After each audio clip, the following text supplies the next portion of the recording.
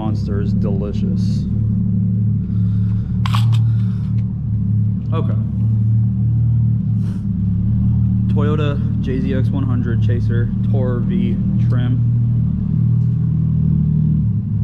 Today is a very special day. Let me get off.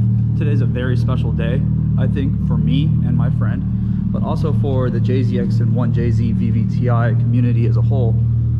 We are going to be dyno testing our vehicles.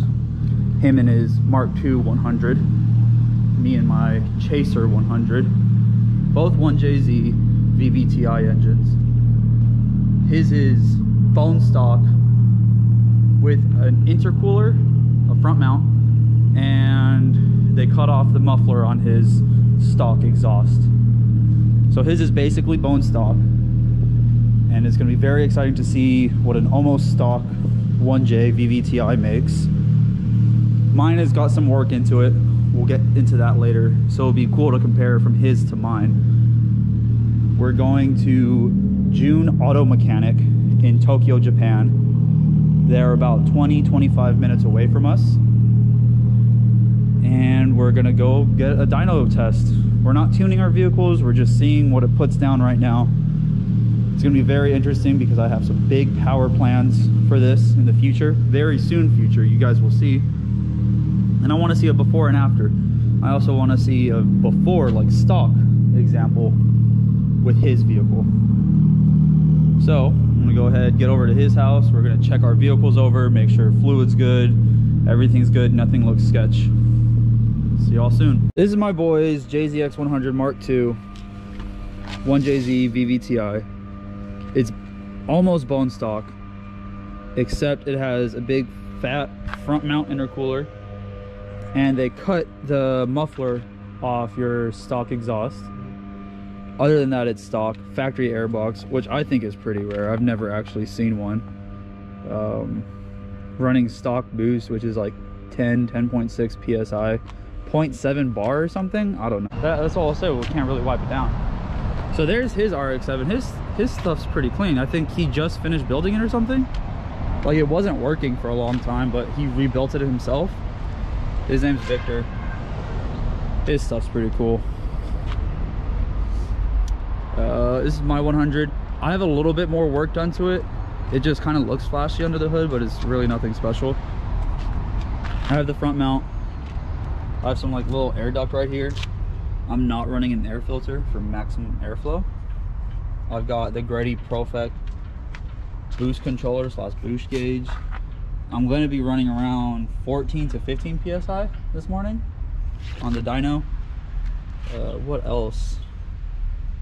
So I have the DriftMotion Rebuild Turbo CT15. It's like a high flow. They uh, ported everything. They put all steel internals in. I think it's Garrett stuff, honestly, the internals. Um, I have the Tomei downpipe elbow, which goes the stock elbow is like 2.75 inches and then this one the Tomei is three inches. And then that goes into my three inch cat delete and that cat delete goes to my three inch straight pipe Kazama auto something exhaust. So I have a turbo back three inch straight pipe. Other than that I think everything is basically stock on the engine I'll do a quick fluid thing. Um, all right so we just got our yen out and we're about to head to JUN. Our boy jerry the granddaddy jzx yokota person on base. Uh, he's gonna join us. He's gonna see the process. So JUN could only do two vehicles today. We tried to get all three of us to go but they could only do two today. They say it's a two-hour process per vehicle they scheduled us in at 1300 so we'll see what's good they said they're going to schedule the third vehicle, Jerry's vehicle, uh, for another day, but we're going to schedule that tonight.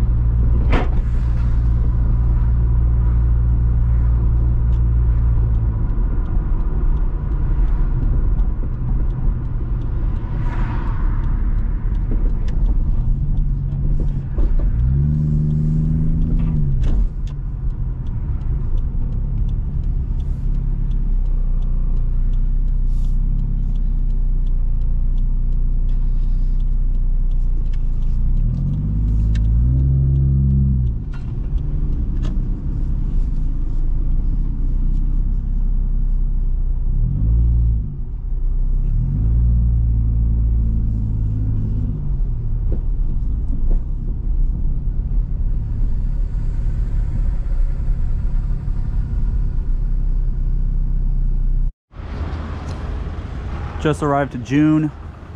It's the front door. That's their inside waiting area. It's about 12 o'clock right now. It's Martin Luther King Day. I think it's around 35 degrees outside. Make for an interesting session. So our appointment's for 1300, 1 o'clock. We're here an hour early. We thought maybe we could see, just walk around, check out the shop, look at the cars. But uh, it turns out all the mechanics are on lunch. So we kind of got here early for nothing, but it's still cool though. Looking at all these cars. There's a family mart right there for lunch and all that stuff. Toyota store. Yeah, so uh, they're on lunch right now till 1. Okay. So we're just gonna be hanging out. And it's okay that we're parked there. Okay. Got some cool JUN cars. There's a Toyota dealership right there. So it's Monday. Most Japanese places, from what I've noticed, are closed on Sundays and Mondays compared to America being Saturday and Sunday. But yeah, this is the parking area. Some really clean JZXs out here. I wonder who owns those. And I guess this is like their workshop. All up in here. We'll see what it is in an hour. Got some clean cars parked back here. Not a fan of S14s, but that's a clean example of an S14. I really like these little Suzuki trucks though. Vans, those things are dope. We got some more Americans out here. We're not the only Americans. So this is a the Y plate. That means uh, it's an American military. This one's dirty. It might have been sitting a minute. It did snow this morning for maybe 30 minutes. So that's probably why. There's another Y plate GTR. Yeah, look at all these clean cars. That this is my favorite uh Silvia, the S13s. Hey, this is what his name is though.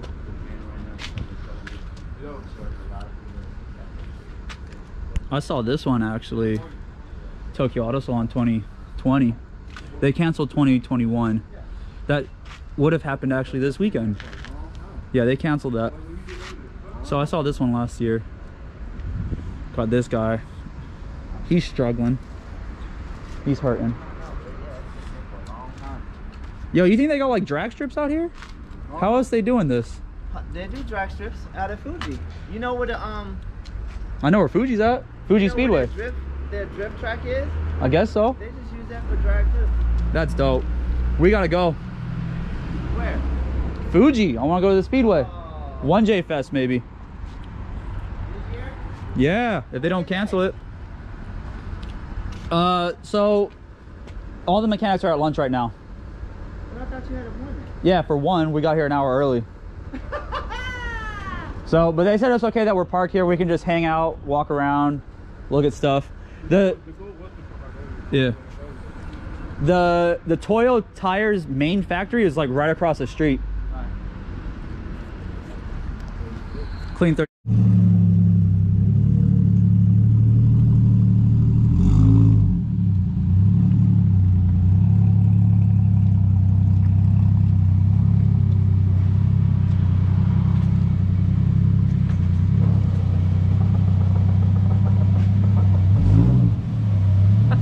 The wheel's not even moving. That's because it, it's blocking the the hose is blocking it. Wow, that's weird. Well, no, it's it's only rear wheel drive. No power goes to the front.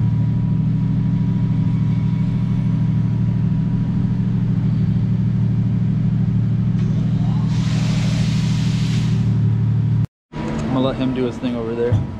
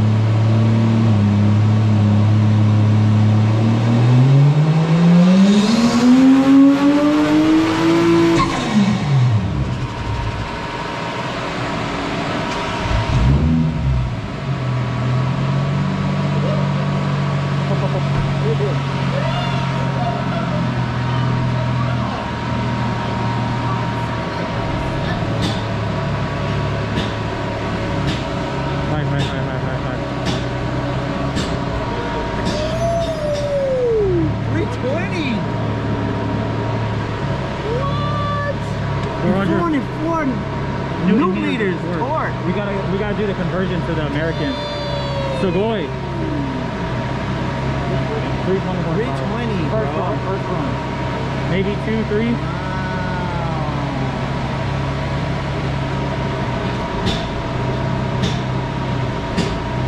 15 psi. 15 psi. 15 and a half. Wow, sugoi. Arigato gozaimasu. Just text it to me. It's Yeah. Easy. Cause this Well, JP's you know, got you can, you know you can um, do it through here you can you can view your videos right? on my phone. No, on there too. Oh yeah, yeah, You know that? yeah. But it's such a tiny screen that I don't want to do that. But you can put them on your phone through like Bluetooth and all that.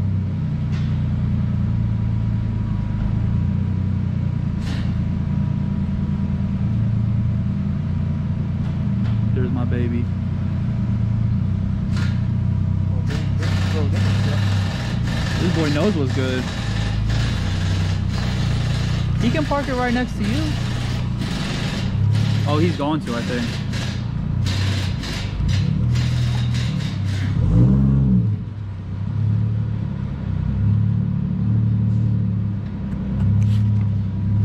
That smoke don't look blue to you, right? Huh? I thought I saw some blue smoke. Probably. I was just mistaken. It's just it's cold, you know. God, look at that angle though. That's stock, man. She it looks like it's got crazy angle, you know. All right, now it's the Mark II's turn.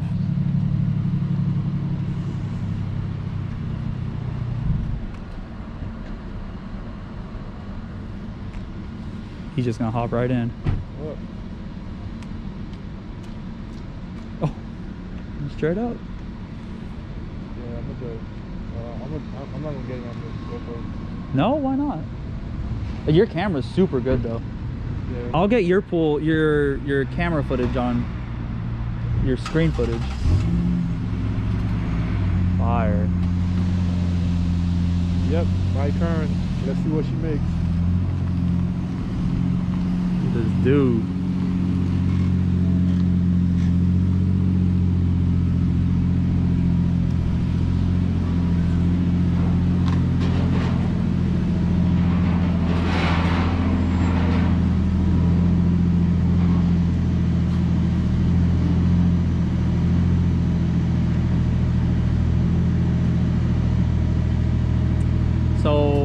It like? My phone says it's like 40 degrees outside, but on the computer screen it was saying like 54. And I guess that's because we're in here and the engine's a little bit hot, all that stuff.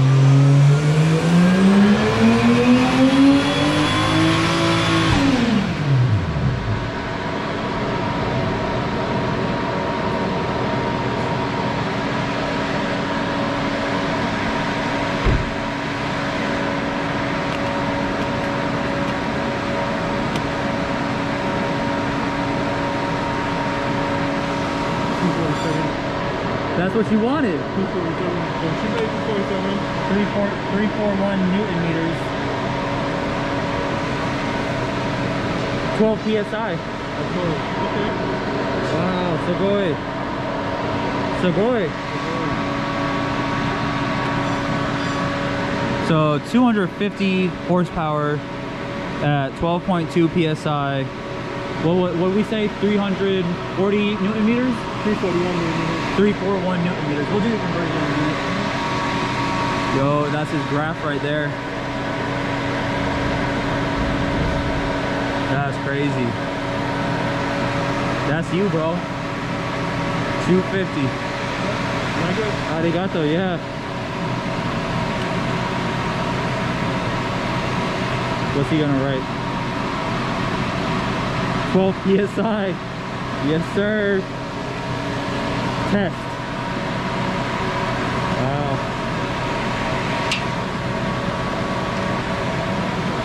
Oh, and he saves it to like a USB and then he prints it out later. Wow. Turning the machines off. That's her. That's that 250 horsepower beast right there, son. Completely stopped. We were on the money. We said 250. Between 200 and 250. Yeah, we were on the money. Yeah. But once you open it up, you get 70 horsepower right there, son.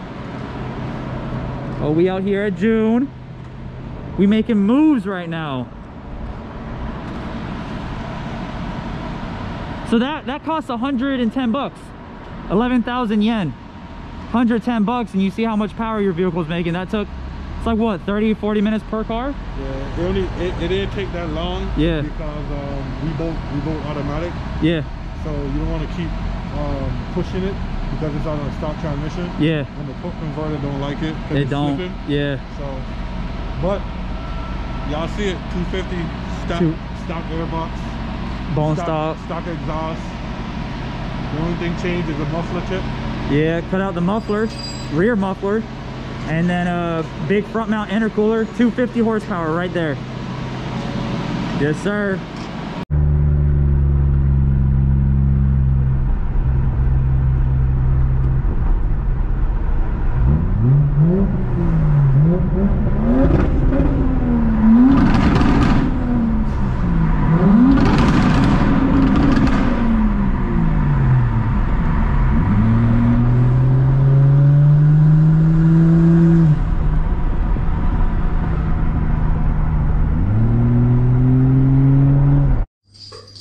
Okay, so we're back, same day, Martin Luther King Day. It's January 18th, 2021.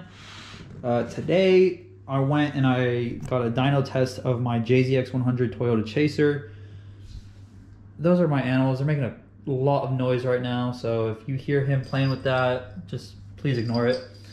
Anyways, so today, I think it was about like 38 degrees, kind of, the whole type of day, but uh, inside the actual JUN auto mechanic shop, it was around 54 degrees. That's at least what the dyno computer said.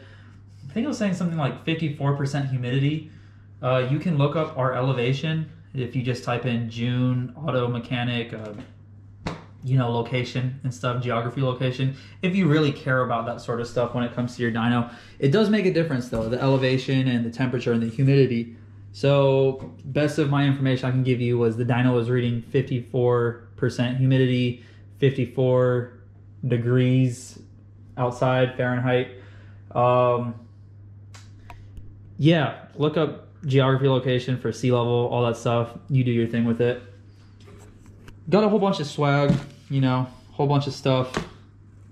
Just because why not? Might as well. Got a hat. This is uh, the oil filler cap for, it's for an RB, but you know, it's just cool decoration stuff. Got a JUN Auto, the little radiator cap. Sorry, I wasn't in the view. Little radiator cap. This is for 1Js and 2Js. Got this is, you can't really see, you might be able to see it. This is an RB26 valve cover, right? And the valve cover, it's like the garnish for it because the valve cover on an RB26 is different from the 1J and 2J. You actually put like double-sided tape or some sort of adhesive right here and it glues onto your actual uh, valve cover. Got a whole bunch of stickers, shirt, keychains, all sorts of good stuff. This stuff is not cheap though. Ended up total, this whole little box of stuff was $500. Pretty crazy. The tune itself, not the tune, my bad. The the dyno test ended up costing $110 per vehicle. It's $100 and then the Japan has a 10% tax, so it came out to $110. 11,000 yen, 10,000 yen just to run your vehicle. They give you a whole bunch of stickers though for free as like a little present they said. Let me see if I can show you.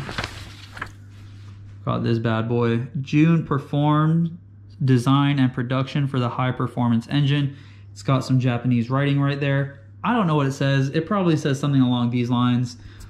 Who knows? I certainly don't because I'm ignorant and I don't speak Japanese, even though I live in Tokyo and I'm a messed up American. Let's see what else we got. They gave me these two in silver because my chaser's silver. JUN Auto Mechanic Machine Shop Auto Works. Pretty cool. And then here is just a bunch of receipts. And then here are my dyno figures.